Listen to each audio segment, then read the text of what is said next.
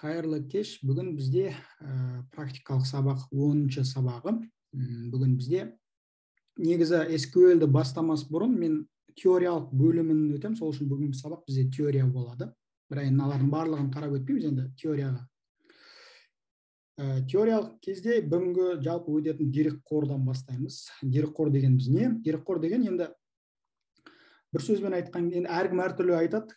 Оқулықты да әртүрлі айтады мынау жалпы көп жағдайда келетін нәрсе дерекқор ол компьютердің сыртқы жадында сақталатын белгілі бір ереже бойынша ұйымдастырылған сақталып өңделген өзара мәліметтер жиынтығы жалпы айтқанда деректер қоры ол бүкіл данныйларды бір жерге сақтау бір ә, тәртіппен ә, сақтау енді ә, сақтаған кезде де деп айтса болады ғой иә ау датасет деп айтса болады деректер қорын датасет деп аударылады иә. датасет деп айтады датамап негізі олай датасет деген ол таблицаның бір түрі.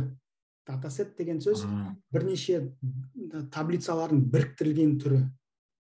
Датамап деген бар ол бірнеше данныйлардың то есть әр жерге сақталған данныйлардың бір жерге жиынтығы то есть бір жерге бір байланысты ол субд мен жұмыс істейді деректер қоры жалпы ә, да, мәліметтердің жиынтығы ғой бірше бір бір айтқанда. Белгілі бір тәртіппен оны біз біз білмейміз да қалай сақтап біз енді айта беремін бірақ негізі белгілі бір тәртіппен сақталатын ә, деректер қоры. Жай қарапайым дата ғой иә? Иә да, данный. Дан да, дата ғой иә. Енді ә, мынандай сұрақ бола ма білмеймін бірақ сонда да сипатына байланысты ә, ақпараттың сақталуына яғни сақталу ақпараттың сипатына байланысты екіге бөлінеді.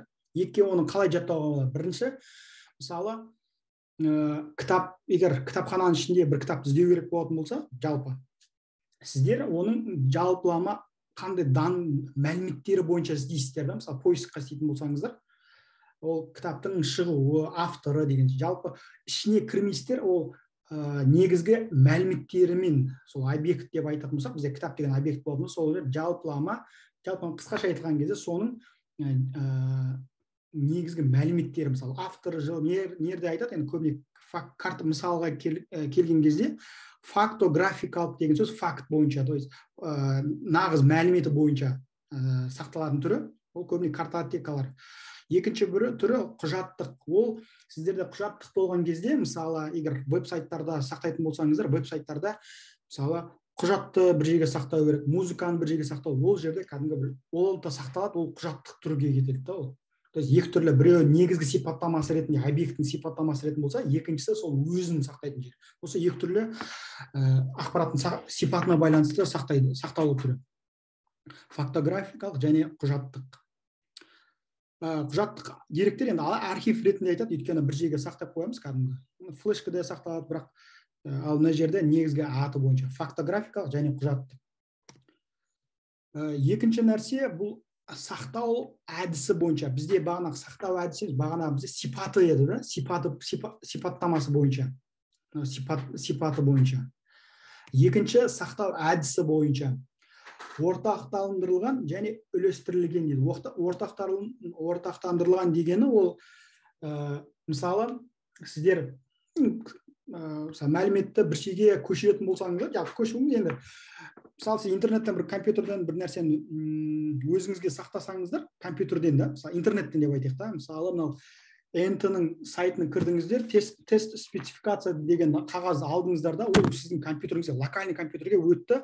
Ол бірден сізге түсті. Бірақ екінші нәрсе сіз ол қай жақтан жүктедіңіз ол үлестірілген дейді ол қай жақтан жүктелінген то есть мысалы сіздер бір жерге ә, серверге болсын немесе интернет енді интернет желісі деп айтайық та сол жерге салынған. Сол жерде сіздер доступ алған кезде өзіңізге сақтайтын болсаңыздар бұл екі түрлі біреуі локальный біреуі глобальный деп айта салайын енді. Ортақтандырылған көбіне бір ғана компьютердің төңірегінде немесе кәдімгі желіге қосылған желіге деген компьютер төңірегінде айтылады. Мысалы осы жерден сақтап осы жерден болмаса флешка флешкаде түрде айтылуға болады. Өйткені сізде флешкада осы флешканың ішінде ғана сақталды деген секілді. А үлестірілген уже интернет желісі болсын сервері болсын то есть бір жерден сақтап сіз бірнеше доступ барған бар түрінде айтасыз так бұл сақтау әдісі бойынша енді ұйымдастыру дейді. Ақпаратты ұйымдастыру құрылымы бойынша. Негізі кітап бойынша қазақша мәліметтер кітап бойынша осы үш түр ғана келеді. Реляциялық реляциялық реляциялық иерархиялық және желілік деп ше. Бұл жерде бірден айта салайын мына жерде реляция деген кезде кесте деген жауап кесте деген нәрсе то есть екі д екі дименшнл то есть екі дименшнл массив сияқты болсын кәдімгі тақырыбы және то есть бағанмен қатар реляциялық дерекқор бағана датасеттердің бәрі осы жерден айтылады. Иерархиялық дегені бұл енді графтар деп айтылған бірақ иерархиялық дегенде сіздер ә, мысалы біреуі бар оның астында кәдімгі енді басқару егер біз білетін болсақ президент басқарады одан кейін ә, министрліктер деген секілді. То есть иерархия жолымен иерархия бойынша ұйымдастырылып отырады. Мысалы сіз бір доступ бару үшін бір жерге барасыз оның басқару тармақтары бар деген секілді. Бұл иерархиялық желілік кезде бұл енді ә, әр кезде әрқалай айтады бірақ желілік кезде мысалы центр нетворкинг деп айтады. Енді бұл жерде ә, бір көбіне кілттермен кілттермен деп айтып тұрсың мысалы бір ә, бір данный бір окей былай қалай желілік кезде менен өзімнің түсінігіммен айтып жатқаным ғой енді. Желілік кезде сіздер бір мәліметке екінші мәлімет ол жерде сақтаған кезде сіздер белгілі бір енді ә, питонда болсын басқа бір линкд лист деген бәрі бар немесе бір тармақтар бар. То есть біреуі екіншісімен байланысады деген сөз ғой. Ол бір байланысады түрінде енді мына жерде мен қысқаша айтқан кезде реляциялық дата қор мына дх дата қор дегеніміз кесте түрінде ұйымдастырылған деректер базасы немесе оны кестелік деректер қоры дейді. Иерархия деймін мәліметтер арасында байланыс реттелген графтар. Бұл жерде реттелген графтар бойынша өйткені сізде ә, егер байнери три деген нәрселер естіген болсаңыздар ол бір ә, түбірі болады одан кейін шығады яғни ағаш секілді да иерархия бойынша жүреді.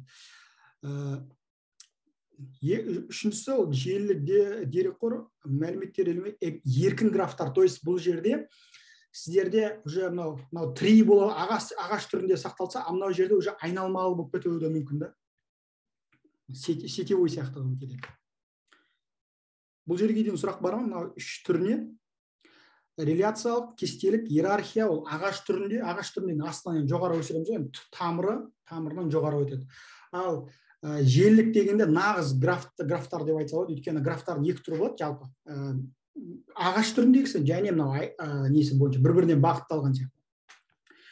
Кітап бойынша мына жерде кітап бойынша да мен көрсетіп өтейін кітап бойынша бүйтеді мынау кәдімгі оқулықта арман пб шатаспасам арман пб бойынша айтады. Бұл жерде де негізі жақсы айтылған кейде. Бұл элементтер нақты тізбек бойынша сатылы түрде дейді да яғни бағана айтқандай сатылы түрде сақта ә, реттеледі. А желілік кезде сіздерде бұл бірден нысан яғни объект мысалы сіздер гиперссылкалар мынау сілтемелер болады ғой. Ә, мысалы веб сайтқа бір сілтемені бассаңыздар бір жердегі данный скачать етеді тағы да бір берсеңіз басқа жердегі басқа жердегі данныйды сақтап етеді. Бірақ хотя ол бір сайттың ішінде бірақ адрестерін қарайтын болсаңыздар біреуі басқа адресте екеуі яғни желілік кезде бұл да бір графтың түрінде яғни гиперссылкада. Бірақ сіздер бүйтіп иерархия саты бойынша жүрмейсіздер бірден сол жерге доступ барасыздар. Бұл желілік ретінде кетеді. Енді реляциялық деген сол ол кесте түріндегісі және мына жерде бір реляциялық түріндегісін айтқан кезде сіздер кесте болғандықтан бұл жерде өзінің атаулары бар. Бізде енді баған үйреніп қалғанбыз ғой енді эксельде жол және баған деп. Бірақ реляциялық дерекқорда біз бағандарды өріс деп айтамыз да. Бағандарды иә а жолдарды жазбалар деп айтамыз. Ә, және осы жерде екі, екі айырмашылық бар excel бойынша. Бірінші айырмашылық бағандарды біз яғни бағандар мен жолдарды айтқан кезде өрістер мен жазбалар деп айтамыз бірінші айырмашылық. Екінші айырмашылығы эксельдерде біз ә, дерекқорда әрбір бағанға белгілі бір тип бойынша сақтаймыз немесе жазып отырамыз.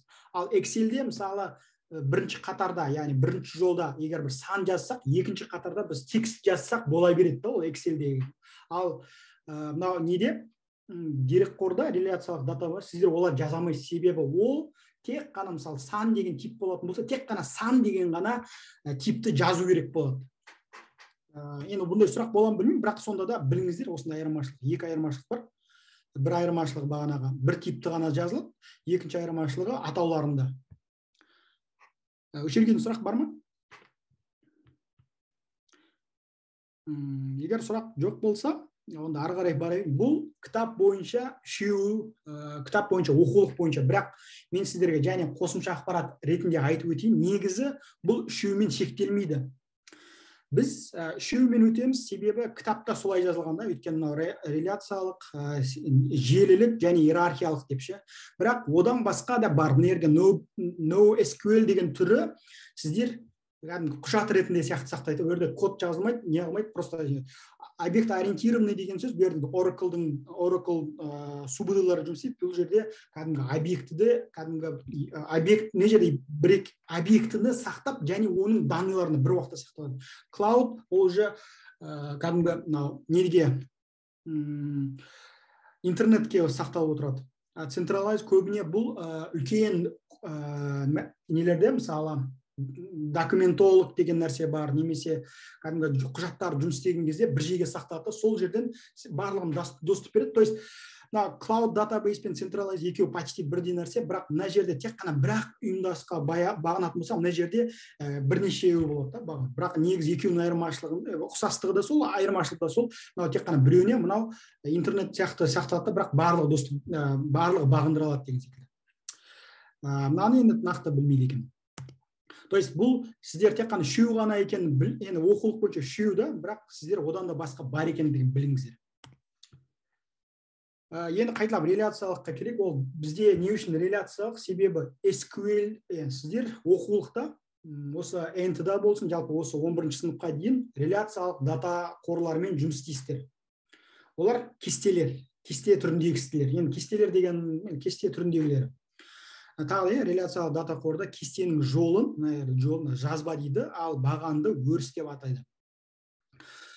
Енді реляциялықта көбіне ә, кілт болады.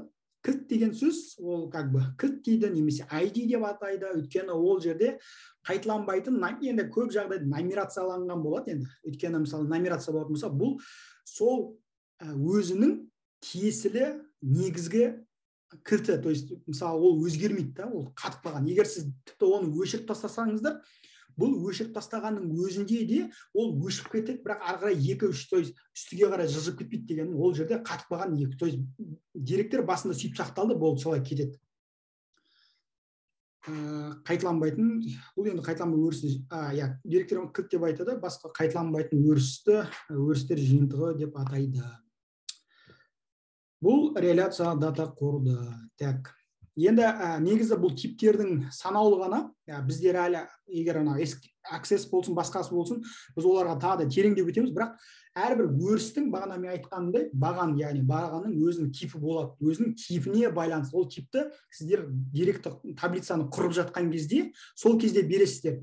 Бұл мысалы мынанша ұзақтығы мынанша болады там жиырма символдан тұрады ол тек қана сандар болады. Там символдық 255 болады. Ә, ол жерге данный болады ол жерге yes no true false деген секілді ә, сондай нәрсе мәліметтер болады. Кәдімгі типі да тип сияқты. Ол сіздер бірден қандай ә, бағанға қандай типті сақталатындығын көрсетіп өтесіздер бұл енді мысал ретінде айтылған біз әлі де егер алда өтетін болсақ оны тағы да тоқталып өтеміз. Бұл өрістің типі. ә, және кестелер бойынша айтқан кезде ә, мынандай кестелер бір бірінің өзара байланысты деген нәрсе бар. Ә, бізде бір біріне байланысты деген сөз. Мысалы бізде бір ғана кесте бар екінші кесте бар. Екеуі бір біріне байланысқан кезде ол мысалы атаулары болмаса немесе кілттері. Мына жерде кілт мына жақтағы кілтпен екеуі бір біріне сәйкес. Мысалы адам атының айдиі мысалы былай мүмкін оқушы болсын оқушының өзінің туған жылы аты жөні болуы мүмкін да негізгі мәлімет және сабаққа қатысты мәлімет болуы мүмкін да сабаққа болғанда таза сабақ немесе ә, аты жөні туған жылы және мына жерге паспорт то есть ә, документтің құжаттың несі болуы мүмкін. Өйткені бір адам бір ғана құжат деген секілді. Сол екі жерге сақтайтын болсақ сол адамның аты жөні немесе ID бойынша жүріп өтеміз. Бұл бірге бір дейді да. Ә, екінші нәрсе бірдің көпке байланысты дегені мысалы егер мен оқушы мысалы мен оқушы болатын болсам менде маған тиесілі егер дерекке сақталатын болса маған тиесілі бір кітаптар болуы мүмкін да. Ол кітаптарды иә ол кітаптардың мысалы былай айтайық болмаса мен ә, бір мен мына жерге класстың атаулары бар да то есть оныншы сынып оныншы а оныншы б деген секілді. Бірақ әрбір оныншы б ның ішінде бір оқушылардың тізімі болады. То есть он б деген ә, бір кестелердің ішінде егер соны сол, сол ғана атауға сол ғана кілтке мына жердегі өзінің ішінде бірнеше омбыға мысалы он бірінші классқа қатысты бір он бір а деп алатын болсақ он бірінші а ның оқушылары қатысты болуы мүмкін. Сонда бірге көпшілік деген сөз. Енді көптің бірге байланысты деген нәрсе бар. Бұл жерде мысалы ә, қандай мысал келтіруге болады ә, бұл жерде бір бірнеше оқушыларға бірнеше оқушыларға бір ғана класс жетекші болуы мүмкін да. То есть бір класс бұл жерде керісінше байланыс сияқты мынаған сияқты. Енді көптің көпке деген сөз бұл жерде мысалы оқушылар бірнеше сабақ таңдайды ғой. Сол секілді мұғалімдер ол әрбір сабақта түрлі оқушылардың оқушылар болады ғой. Мысалы ә, бір бала мысалы бір бала там алгебра алгебра қазақ тілі сондай пәндер таңдайтын болса сол секілді қазақ тілі мұғалімі осы оқушылардан басқа. То есть көпке көп деген байланыс бар. Осы төрт түрлі байланыс түрі бар. Кестелер арасында байланыстың түрі. Енді бұны жаттап алудың қажеті жоқ. Сіздер егер түсінсеңіздер уже ары қарай оңай кетеді. Осы жерге сұрақ бар ма? Егер сұрақ болып жатса мынау неге жаза беріңіздер? Чатқа мен қарап отырамын анда зумның чатына да. Енді бізде ә, субд деген нәрсе бар. Деректер қоры ә, деректер қор басқару жүйесі деректер қорын басқару жүйесі. Бұл не? Және бұл енді ә, болған дейін мынау бізде мысалы дерек қоры деген бөлік бар да. Енді оларды ұйымдастыратын бір программа болады да программа. Бұл жерде көп жағдайда access бар мына жерге енді mysql деген бар oracle а mysql бар mysql да бұлардың барлығы как бы программа да программа. Дерекқор ол программа ол дерекқор ол данный да. Сіздер ол қай жерге сақтасын? Мынау сақтауға да көмектеседі сіздерге байланысты алып алып береді сол жер мәліметті көреді бір жерден сұрыптайды ақта бір өңдеп береді. То есть мынау түрлері. Енді ең дерек қорын басқару жүйесі келген кезде субд дейміз немесе деректер қоры немесе мәліметтер қорын басқару дейді мббж дейді немесе дббж дейді екеуінің де мағынасы осы деректер қорын басқару жүйесі. Бұл басқару жүйесі дегеніміз не? Көлемді мәліметтер жиынынан тұтынушыға ыңғайлы. То есть бұл жерде сіз деректерді қалай сақтау керек қандай типке сондай бір ұйымдастырып беретін как программа да? Софтвер программа. Соның бір түрі бағана біз айттық неге аксесс мысалы енді мектепте аксессті көбіне үйретеді аксессті көрсетеді. Аксесс ол осы субд ның түрі. Аксесс сізде мынандай сұрақ болуы мүмкін да мысалы дерекқор деген бөлек бөлек па? Мысалы дерекқор деген не? И аксесстің өзіне бұл жерде дерекқор ол как бы таблица сияқты да ол сіздер сол сақталған нәрсені сіздер мысалы мына sql сақталған дерекқорды сіз oracle аша, алу мүмкінсіз. Себебі барлығын типтері яғни бір кесте түрінде сақталатын болса айталық ол сіз oracle ашу мүмкінсіз mysql де ашу мүмкінсіз немесе бірақ солардың әрбір ашқан кезде сіздер мысалы мәлімет алу керек мына групп сұрыптау керек өңдеу керек тек қана бір мысалы адам басталатын адамдарын шығару керек. Сол сіз не жерге сақталған мына жақтан да көре аласыз мына жақтан яғни дерекқор ол бір, бір өнім ретінде болса бір жерге. Ал мынау ұйымдастырушы программа. Ә, мектеп бағдарламасында негізі ә, аксесс береді. Аксессті біз аксессті қарайтын шығармыз. Мүмкін нақты көреміз. Алла сабақта қалай болатынын.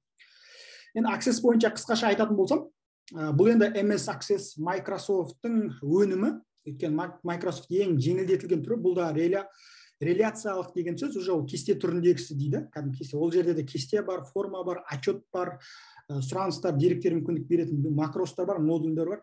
Енді бұлардың бәрінде ә, оңайтылып жеңілдетілген түрін істеген өйткені енді енді бастайтын болса аксеспен бастайтын болса жалпы мынау ә, реляциялыққа мысалы қандай тип беретін сол как бы ә, бастамасы ретінде үйренуге оңай жеңіл тіл өйткені ол жерде конструктор бар өйткені әрбір конструктор немесе кәдімгі қосымша SQL тілі жазатын ә, несі бар? Терминалы да болады да. Енді мен ә, алдағы уақытта эксельді мүмкін практика жүзінде көрерміз бірақ ә, бүгін енді бұл теория. Теорияда оны сіздер қатты назар аудармай ақ қойыңыз кесте дегеніміз мынау кесте деген кәдімгі негізгі қоры бар формасы бар есеп отчет бар. Отчет деген сөз кестелерден сізге керек мәндерді шығару сұраныс деген сөз сол отчетқа мына отчет мен мысалы оқу табелі керек болатын болса мен сұранысқа жазамын. Міне пәленше сыныптың ә, там география пәні бойынша отчет бер дейтін болса мына есеп беру ол сол данныйды шығарып береді да мына сұраныс соған дейінгі процесс то есть командасы да. Так бұлар енді енді ә, кішігірім жай жай басты. Мынау дата SQL database деген бар. Ол SQL database деген сөз. SQL түрінде жазылған кестелердің түрі то есть мынау сияқты. Және NoSQL database деген нәрсе бар. Бұл жерде мына дерекқорларды біз айттық қой енді дерекқорлардың түрлері бар. Ол негізінен кестелік бар мына реляциялық. Соның біреуі SQL тілінде жазылған болса екінші NoSQL деген сөз. Ол жерде тәрт яғни кәдімгі кес нені қолданбайды деген сөз ғой. SQL тілін қолданбайды. Және бұл жерде бұл осындай типті қорлармен жұмыс істейді. Енді біз қазір жай жай SQL-ге кіріп жатырмыз. Ә, SQL дегеніміз бұл тіл бірақ программалау тіл емес. Бірден айтайық бұл тіл бірақ программалау емес.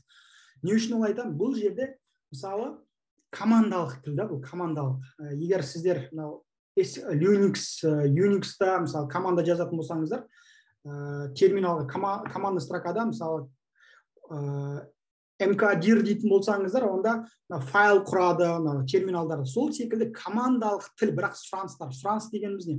Сұраныс дегенім кәдімгі query дейді.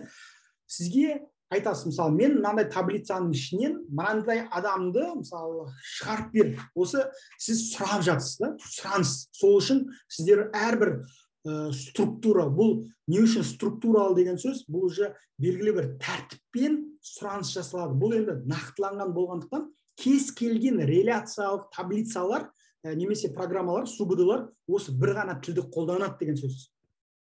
То есть SQL тілі деректер қорының реляциялық типімен ғана жұмыс істейді.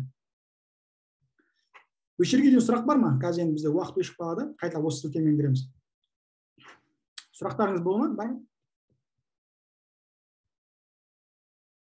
Сонымен тағы да айтып өте салайын. SQL ол тіл.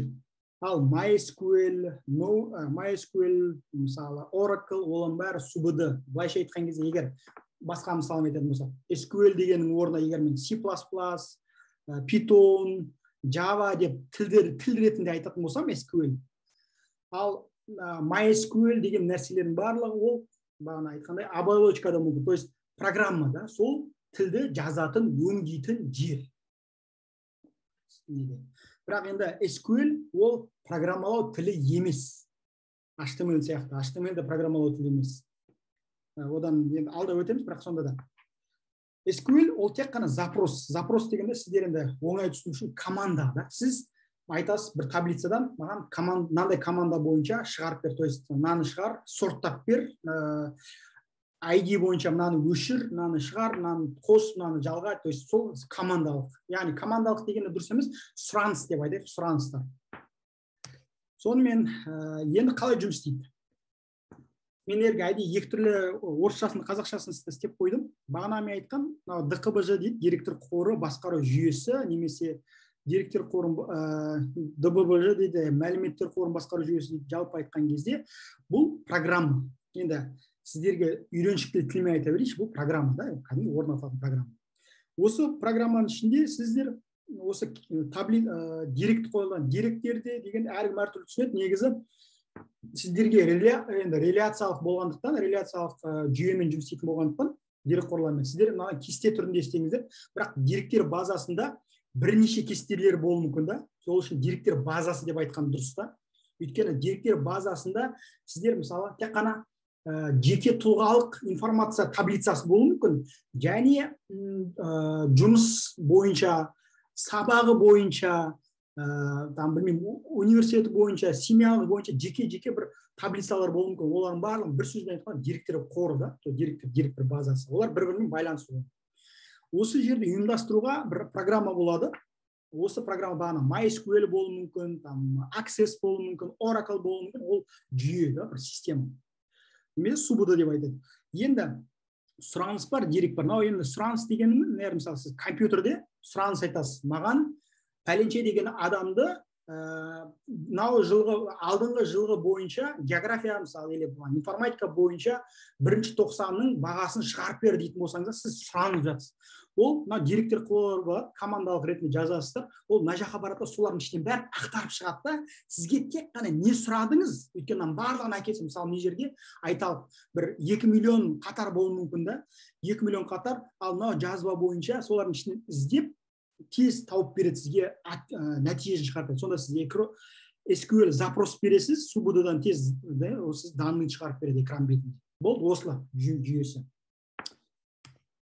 Енді SQL-дің түрлері дейді.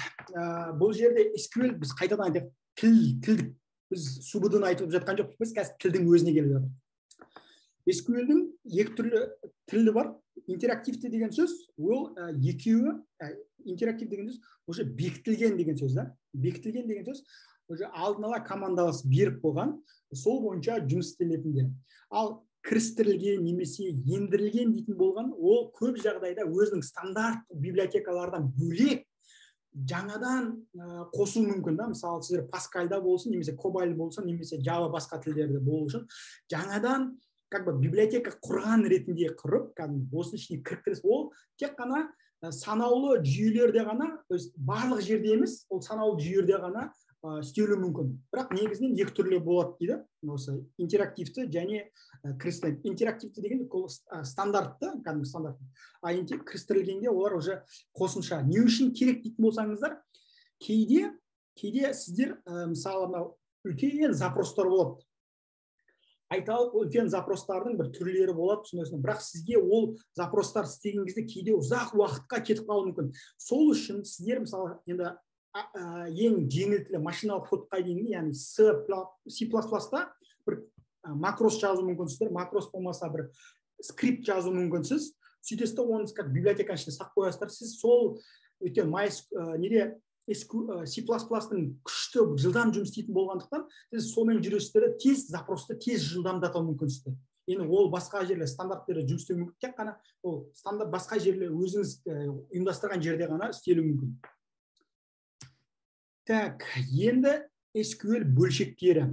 Жалпы бөлшектері деген дұрыс па енді біз білеміз ғой әрбір тілдің программалау тілі болсын басқа тіл болсын өзінің бөлік бөлікпен айтуға болады да. Мысалы ә, егер программалау питон деп айтатын болсақ питон мысалы типтермен ғана жұмыс істейтін типтермен мысалы там интеджер флот екінші тек қана мысалы тізіммен ғана жұмыс істейтін ә, стрингмен жұмыс істейді осылайша бөлек бөлек болуы мүмкін да. То есть жалпы айтқанда тек қана ә, стринг типтес ә, массив типтес деген секілді немесе ә, басқа. Сол секілді SQL-дің де өзінің басқару болмаса ұйымдастырылуы жағына байланысты бір төртке төрт типке бөлінеді. Төрт төрт бөлігі бар деп айтайық. Төрт бөлігі. Бөлшегі ма? Бұл мына ddl дейді definition яғни деректерді анықтау. Деректерді анықтау енді бұл бүгін барлығы өтпеймін бірақ ә, деректер анықтау болған кезде мысалы крейт бар алтер бар дроп бар бұл жерде сол ә, деректерді мысалы сіздер анықтаған кезде сіз құру сол секілді.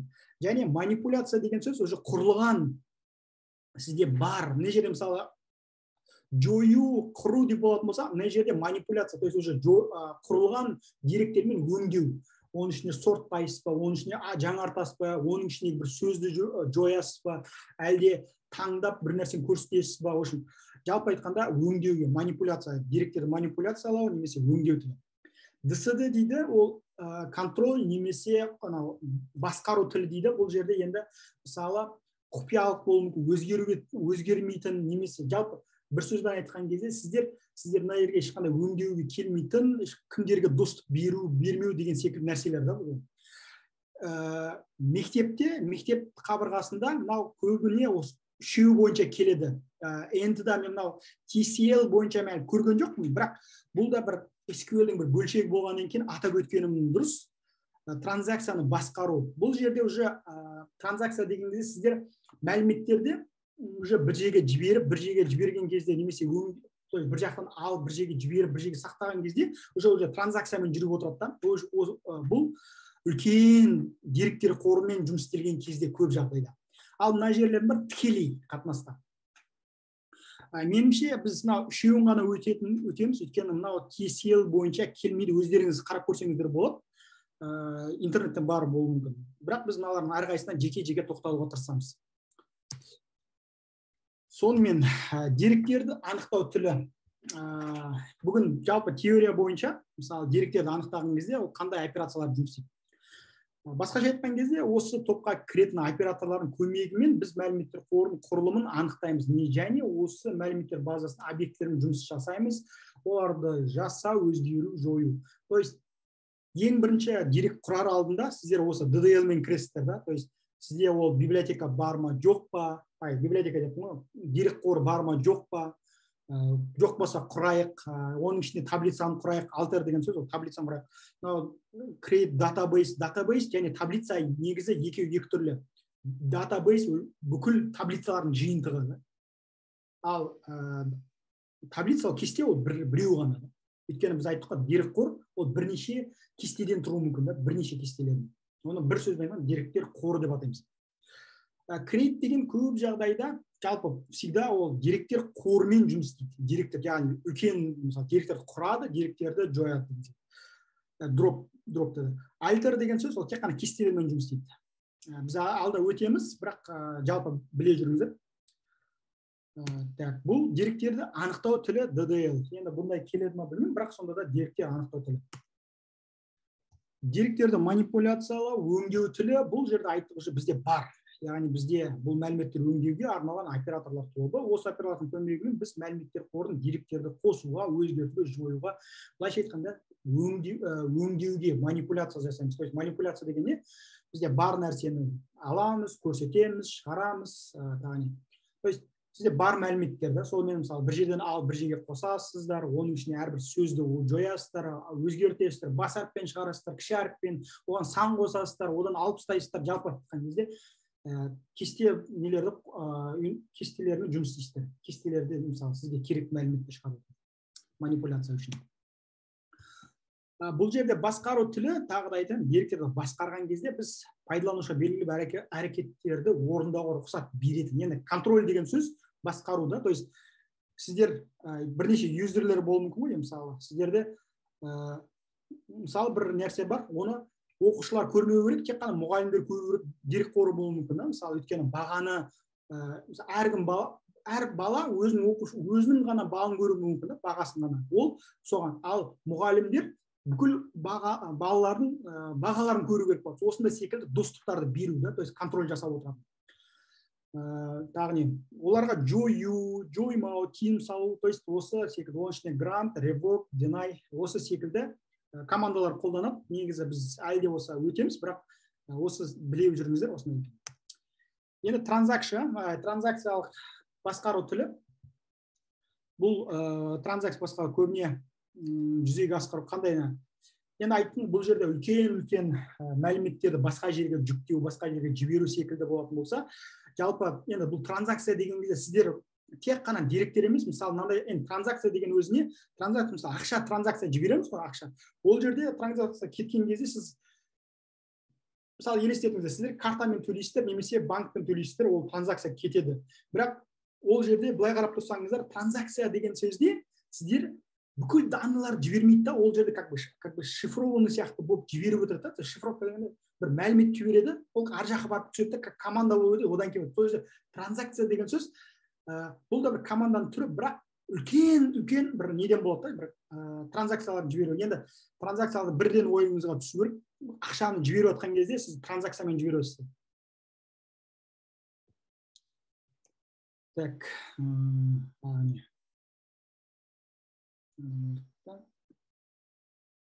а енді сұраныс салу неге сұраныс салу деген дұрыс па? Сұрау запрос query дейді. Біз айттық SQL ол тек қана ә, структуралық деген сөз ғой. S деген сөз структура структуралық q деген сөз. Query запрос. L деген language да. Бұл белгілі бір құрылымдық егер сіз ағылшынды білетін болсаңыздар SQL-дің бір жақсы жері ағылшын тілімен пара пар мысалы select from. То есть таңда ішінен егер ағылшынды синтаксисті жақсы білетін болсаңыздар select from дейтін сөз жалпы бірге жүреді да. Апдейт инто деген сияқты немесе делит басқа жалпы айтқанда екі осындай қосымша сөздер болады да сонымен бірге жүреді. Групп бай деген сөз мысалы. Бұл әрбір сөздердің осы ағылшынның бір жақсы жері мынау білетін бұл адамға қатты қиыншылық болмайды мынау sql өйткені ана қосымша тілдер болады. Групп бай там инто деген секілді. Select from деген секілді. Бұл жерде запрос бұл командалар командалар болып келеді да. Команда деп жатқан мен оператор дейді кейде команда дейді. Мен үшін команда деп айтқан жеңілірек. Ә, так енді бұл сұраныс жалпы ә, айтылады. Мысалы солардың біреуі селект енді кішігірім селектке өтейік. Мысалы біз енді мен енді ә, алдағы уақытта бұлардың бәрін жеке жеке тереңдетіп тоқтап отырмын бірақ мынау кішігірім бұл енді селект мынандай міне қараңыздар селект from. Select from деген сөз мына оқушы деген бізде дан дан датабейс бар датабейс деп айта берейік соның ішінде мына бағандары бар. Енді біз жақтайда өрістер деп айтайық өрістердің типтері міне. Осы бойынша шығаратын болсам енді өзім қолым мына жерде үш қана id бар. Id армана есімдері жасы және сыныбы деген секілді мен шығардым да. Бұл select id мынау нелері бойынша және оқушы деп. Сол секілді жұлдызшаны қолданады. Егер сіз мысалы мына жерге селс мына жерге оқушы деген нәрсе керек мына жерде мысалы селект болатын сіздер қандай мына жерде барлығын егер айталық мен жерде тек қана төрт қана баған яғни бізде өріс болатын болатын болса сол жеке жеке жазбай ақ мына жерге жұлдызша қылып жаза салсаңыздар осы жердегі бірден шығарып бере салады. Ә, селект сипаттама деген мысалы аты жасы тек қана осымен ә, орны. Бұл енді кілттік сөз болады. Кілттік сөз дегеніміз не? Бұл жерде кілттік сөз емес біз жақта бұл біз ә, көрсеткен кезде баға ә, баған деймін өріс деймін сол бойынша шығара саламын. Жалпы дейін осы келесі сабақта біз енді нағыз практикамен жұмыс істейміз. Ә, мен әлі де болса мынау жеке жеке мына әрқайсысына тоқталып өтемін мыналар бойынша өтеп то есть біз негізінен осы үшеуін өтеміз жеке жеке практикада жұмыс істейміз. Все бүгінге осы.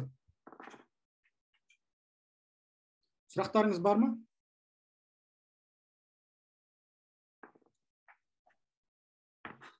Сұрақ жоқ. Жалпы түсінген сияқты мына транзакция дегенде банктар қолданатын сияқты ғой бұл қаржылық операциялар орындалған кезде ма сондай ма? Ә, нақты білмеймін. Өйткені мен де мен қолданған кезде жалпы мен sqlді қолданған кезде мен бұл, бұл жерге дейін түспегенмін. бірақ мен бар екенін білемін. Қай жерде қолданатынын мен енді банктерде деп ойлаймын енді өзім. Өйткені транзакция деген сөз көбіне шифрованный үлкен мәндер жіберген кезде ешкімге түсінбейтін ә, транзакциялық кодтар жіберіп отырады да. Ал көп жағдайда қолданылатын осы үш үш бөліктері. Тіпті сіз үшін мынау бөлік керек те емес мынау администраторлар қолданады мынау дсд-ны. Мына көбіне мынаны қолданады. Dsd немесе data control language или бүгінге сізден бір қосымша сұрайын деген биыл әлгі тоғыз мың жүз алпыс үш грант бөлінеді екен ғой. Осы информатиканы таңдаған мамандықтардың ішінде. Содан мен оқушылар сұрап жатыр да осы айтиді таңдаған кезде қандай мамандыққа ие боламыз жалақысы қанша деген сияқты. Сол туралы кішкене бір айтып өтсеңіз деген ол бойынша мен негізі ә, ютубта сол ә, айтидың бес топ бес мамандығы деген нәрсе бар сол бойынша айтқам. Және мынау нт деген ә, сабақты бастағанда кіріспей айтқан кезде мен үш түрлі мамандықты жеке жеке тоқталып өттім негізі универге түскен кезде қай универ болмасын жалпы үш бағытта жүреді ә, ақпараттық технологиялар ақпараттық қауіпсіздік және мұғалім информатик мұғалімдер осы үшеуі. Осының үшеуінің ішінен ғана уже ары қарай тереңдеді. Өйткені ақпараттық технологиялардың ішінде уже бірнеше салалар бар. Ә, бірінші жағдайда бакалавр бітірген кезде жалпылама өтуі мүмкін да. Оның ішінен уже ары қарай магистрге барған кезде уже тереңдетіп өтесіздер мысалы дата сайенс боласыздар ма әлде мынау тек қана программист боласыздар ма әлде мынау не дейді?